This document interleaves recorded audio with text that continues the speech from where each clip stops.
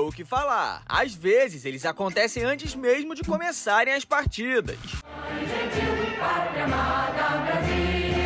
Esse é o Arrocha Funk.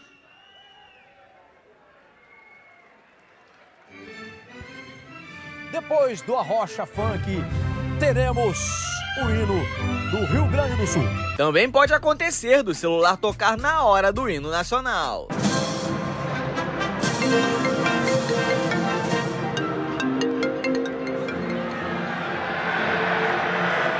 Já esse jogador aí errou o gol, mas acertou outra coisa. Jogou mesmo?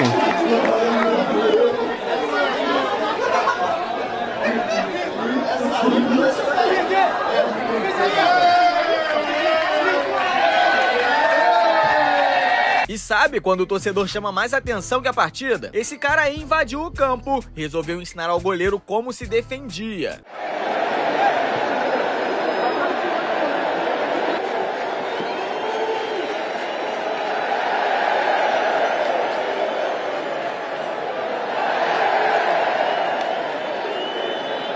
Já outros torcedores chamam a atenção sem nem entrar em campo. Quarta-feira é guerra, canta o torcedor. Porra, é guerra, então vai pra. Que isso, esse grito foi sacanagem. Nem as conversas mais absurdas de jogadores escapam das câmeras. O contra-ataque do, do Náutico. O Júlio acho que Você é uma perna do caralho, oxe. tá batendo boca, hein? Olha Você é uma perna do caralho, Matheus. Falou assim. jogado o quê? Vai tomar no seu... Que isso, Opa? Ele pediu pra trocar a É camisa. ele, ele... Davidson é outra figuraça do futebol brasileiro e gosta de provocar os rivais como poucos. que deve chegar mais dois jogadores. Um pedido específico foi sobre um, Ele é foi calvo? um lateral direito. Porque calvo só o Matheus loiro? Alexandre tá ali na lateral direita, não tem peça de, repros- de reposição no, no banco de reservas. Maravilha, eu, eu tô rindo aqui, porque o- o- o- olha o Davidson como é Quem que é o jogador de futebol brasileiro famoso, bom e que é assumido gay? Tem algum? Porque eu sinto que esse esporte ninguém assume que é gay. Eu tenho muitos gays. folgado, cara. O Davidson é muito folgado, ele vai lá, dá aquela risada. Primeiro que ele fez o sinal pra substituição do Mendonça, né? Aí Não tem? foi dele lá, o Rodrigo Fernandes. Pô, você tá louco, Rodrigo Fernandes? Caraca, É, então fala espanhol, tá Davidson cheio de também jogou dentro também do armário, no é? futebol da Espanha, né? E agora tá tirando sarro ali pra falar, quem é você? Caraca. Quem é você? Já esse torcedor ficou famoso na internet Mata por se parecer uma periquito. mini Dilma. atrasados contra o Grêmio. Nossa, parece a Dilma mesmo. E não tem jeito, criança é sincera mesmo. Obrigado. Sube seu E vou te dizer uma coisa, a tendência do Mano é caminhar para jogar com esse tripé, né, que tá jogando. O Gandula tava chamando tanta atenção fora de campo que o narrador não se aguentou. Bem apertado, o São Paulo recupera a posse de bola. Eu não quero pegar no pé, mas o Gandula caiu agora. Vem pro Rafinha. O Mbappé é gay, não é? Ou, ou... O Do nada furou a. Alguma Outro sei momento que que, o narrador chamou a atenção não, foi a nesse chute aí. Vem pra entrada na área, e daí não adianta chutar, Não é não? Gol!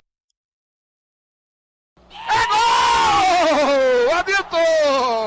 Mais um momento inusitado foi quando o Aleph Manga comemorou o gol pra torcida. Só que a arquibancada tava vazia. E se não bastasse um torcedor Ai. invadir o campo, dessa vez até a tropa de choque resolveu pisar no gramado. Cara, não vai ninguém tirar esse cara do campo? Nossa. Sem brincadeira. Cadê a segurança? Cadê o policiamento? Ele já puxou o celular pra fazer um selfie. Ele Pô. foi reclamar com o árbitro. Ele entrou pra Mas, abraçar. mano, mas pior que esse cara aqui parece um jogador de futebol, acabou de ganhar uma partida e tirou a camisa comemorando. Ele, ele parece mais um jogador de futebol mesmo, de fato, do que um torcedor. Cadê o policiamento? Ele já puxou o celular pra fazer um selfie. Ele Pô. foi reclamar com o árbitro. Ele entrou pra abraçar ninguém. Ele Pô, entrou pra desculpa. reclamar. Tá indo esse... Gente, calma, desculpa, um tem que pausar de selfie, ele- novo nisso.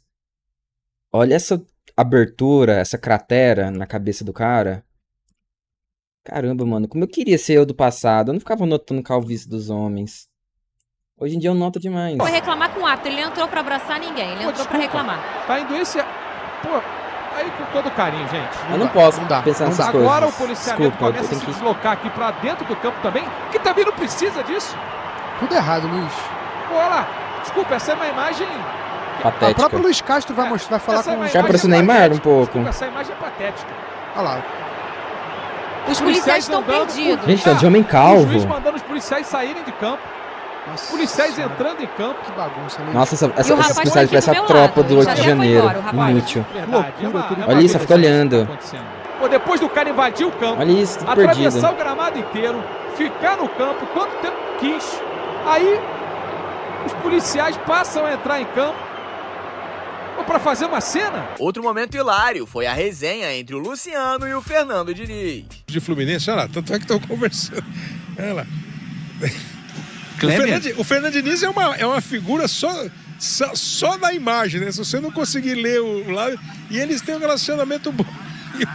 Olha lá, o Luciano Olha lá. jogou água nele É, agora. não, tá estamos jogando água nele. Estamos mostrando. Quem também protagonizou um lance e tanto foi o goleiro Clayton. Na hora de bater o tiro de meta, ele tomou distância, mas se esqueceu de olhar onde estava pisando e tropeçou na placa de publicidade. Já Emerson Sheik resolveu dar um chega pra lá no juiz, que tava na frente dele. Que beleza! E aí, juizão? Foi driblado, foi Se foi culpa de quem? Veja de novo, ó. A gente já tá acostumado a ver cachorros que invadiram o gramado. Só que esse aí Tá. não era um cachorro qualquer, era um Pera, tá acostumado? É comum futebol profissional um cachorro invadir?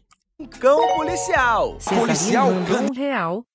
Música pra tirar inveja. Tá, daqui a Estilo pouco eu vejo. mapa. Espera acabar isso aqui. de campo. Ah, ele queria era a bola, rapaz. Aí fez a festa da galera. Será Melhor que em ele vai campo. levar pro gol? Melhor em campo. Quero ver alguém tomar a bola aí, viu, Rembrandt? E se você pensa que já viu de tudo, é na gambá? Série B, quem invadiu o campo foi um gambá. Já viu muito cachorro em jogo No de Brasil tem gambá? Gambá você nunca viu no campo. Gambá só na Série B. E se- alguém colocou, mano. Gambá. Ga- Libertadores é cachorro. Não tem como ele ter aparecido aí naturalmente, tem?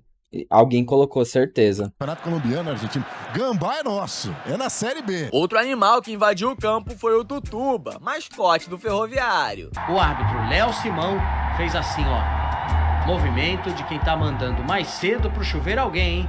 Era E baixinho. era o mascote. Sim, ele expulsou o Tutuba, o tubarão do ferroviário. Na súmula, o árbitro anotou que a exclusão foi por conta da invasão de campo por parte do mascote coral. Levantou o torcedor na arquibancada como novo, sempre feliz faz. ano novo, E aí, acabando. Tá foi pra bandeira de escanteio. É, pisou ali no campo, né? Entrou realmente no campo, mas entrou só um pouquinho. Não era caso pra amarelo, não, seu juiz? Se o jogo é com portões Que tem uma placa escrito Luiz Marcelo Gabriel? Ele é patrocinador? Entrou só Quem um que é esse cara? Não era caso pra amarelo, não, seu juiz? Se o jogo é com portões fechados, tem torcedor que sempre arruma um jeito de cornetar arbitragem. Advogado?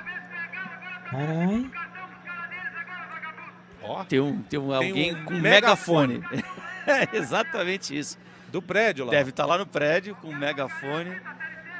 Nossa, que esporte de primatas, com todo respeito É, aí, é, mano. O brasileiro é o Brasil. né? Olha lá. Olha lá. Chinelão, hein? No futebol brasileiro, até os maqueiros passam dos limites. Pera, desculpa. A bunda do cara não tá no rosto dos ca- do cara, Chinelão, não? hein? No futebol brasileiro, É assim que ele. até os maqueiros passam dos limites. E aí, de novo, os maqueiros acabam protagonizando um lance sui generis aqui. Já esse outro maqueiro bateu boca com o juiz e entrou em campo revoltado. Olha lá o, o, o maqueiro ali até reclamando com. Eca. Será que ele tá reclamando com o árbitro da Nojo, partida? Tá discutindo ali com o Jean Pierre. Tá bravo, hein?